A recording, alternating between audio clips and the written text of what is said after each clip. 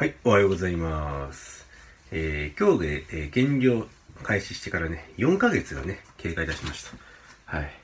と、えー減量と言いながらもですね、まあ、3ヶ月目まではね、えー非常に順調にね、体重が落ちてきまして、えー83キロから75.7ですね、えー3ヶ月で、えー落として、まあ、あの、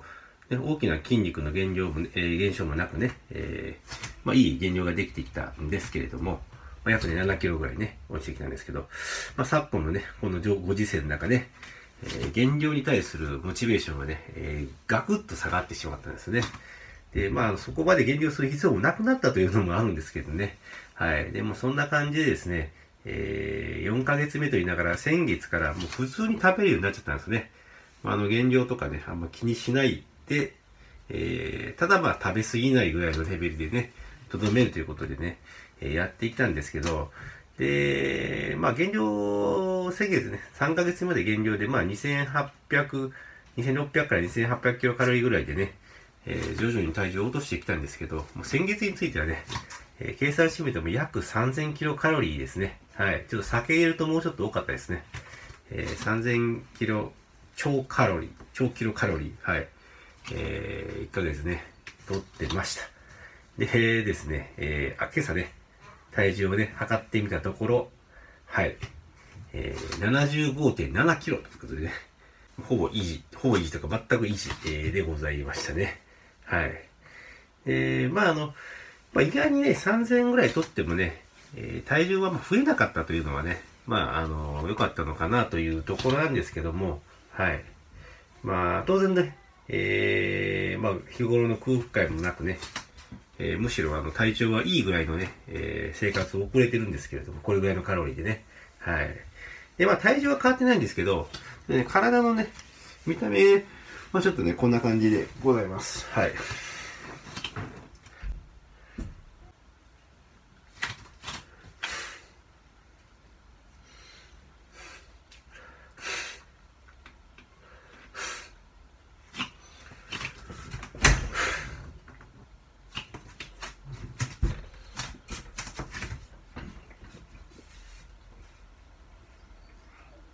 はい、こんな感じでね。はい。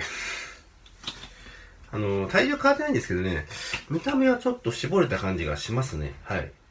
えー、まああの当面はね、もうこんな感じでいいのかなっていうね、やっぱこれぐらい、これぐらいの体であればね、世間一般的からすると、えー、ね、いい体だっていう感じで言ってくれるのでね、はい。まあ、絞り切っって聞いたらいいとね、逆にこう、一般の人から言ったらちょっと気持ち悪いぐらいのね、感じになっちゃうのでね、はい。まあ、そこまでね、こう免疫力を落としてまで減量しきる、えー意味は今はないのかなというふうにね、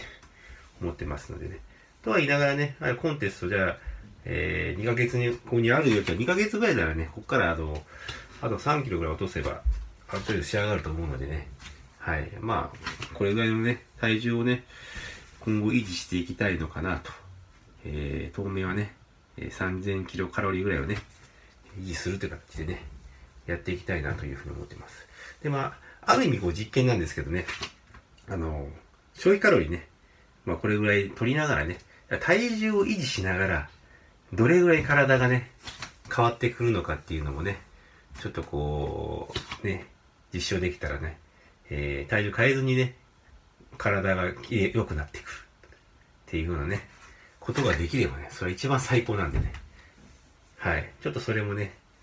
ちょっと試してみたいなというふうにね、思います。はい。えー、それとですね、あと、えーよくコメントに、えー減量時のね、フル食をね、えー見てみたいというコメントね、いろいろいただくんですよね。はい。えーですので、ちょっとまあ、まあ、この上にね、えー、減量コンテストの頃、末期の末期というか、コンテスト直前のまあ、フル食動画みたいなのをね、ちょっと今、えーはい、リンク貼ってますのでね、まだ興味のある方はね、見ていただければなと思います。はい。で、まあ今のね、食事についてはね、ちょっとあんまりにも緩すぎてね、あのーちょっと参考にならないかもしれないです。はい。はい。えー、まあ3000キロカロリー取りながらね、食べるものもね、それほどね、選別してないんですよね。はい。まあとりあえずあのータンパク質だけね、えー 200g ぐらいね、えー1日3倍、体重の3倍ぐらい取りながらね、えー、まあ、あとは、あの、可能な限りね、炭水化物、その決められたカロリーの中に炭水化物取るというような感じで、えー、やってます。はい。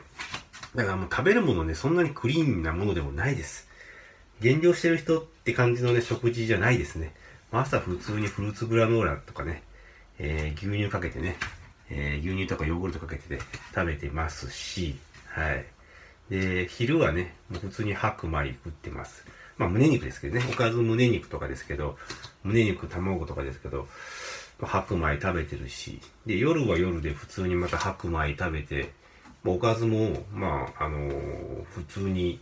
出る、出るものっていうか、あるものを食べますからね。特に原料にこだわった食材ではないです。まさすがにね、そんなに脂っこいものは食べないですけど、もう普通のものを食べてるんで、1日の脂質、PFC の脂質自体も普通に80ぐらいでね、取ってますしね。えー、で、飲み、まあ結構週末、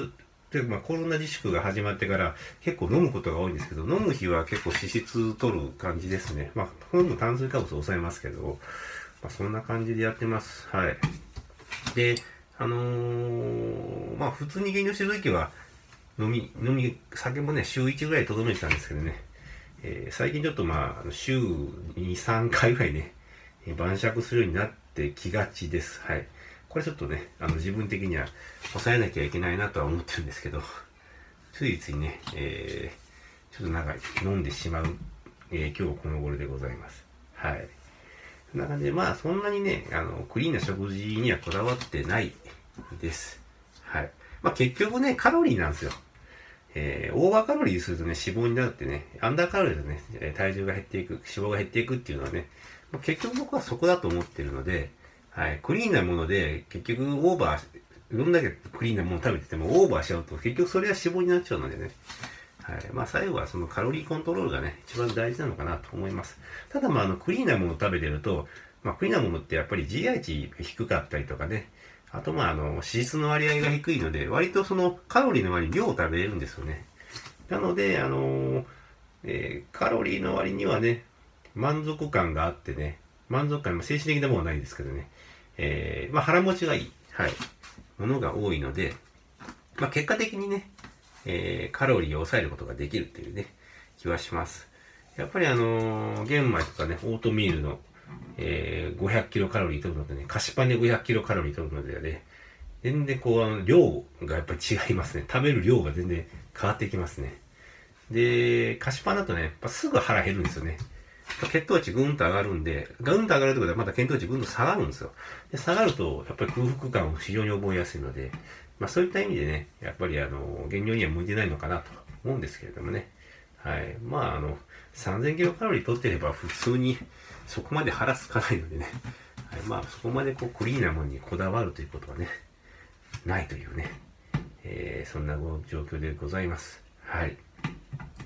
まあまあ、あの、こんな感じでね、まあ、しばらく、こう、体重ね、維持しながら、この体つきをどれだけね、変えていけるのかっていうね、のをね、もう一月ね、ちょっとやってみたいと思います。75キロ台で、75キロ台キープでね、ちょっといきたいですね。ちょっとこう、でも、ちょっと75.7台全く変わってなかったなと寂しかったんですけどね。一時に74キロ台まで行ったんですよ。74.8ぐらいまでね、落ちたんですけどね。まあなんかあの、酒が増えてきたのがね、原因ですね。えー、さ、ちょちょっとね、頑張って、酒週1ぐらいにしてね、いえ、74.8まで行ったんですけど、まあ酒をね、週3ぐらい飲み出すとね、やっぱり体重すぐ増えてきますね。増えてるあと、むくみですね。はい。今日もだからね、昨日あの、ビールとピザね、食べてるんで、えー、やっぱむくみがね、ちょっと今日はひどいなという感じです。はい。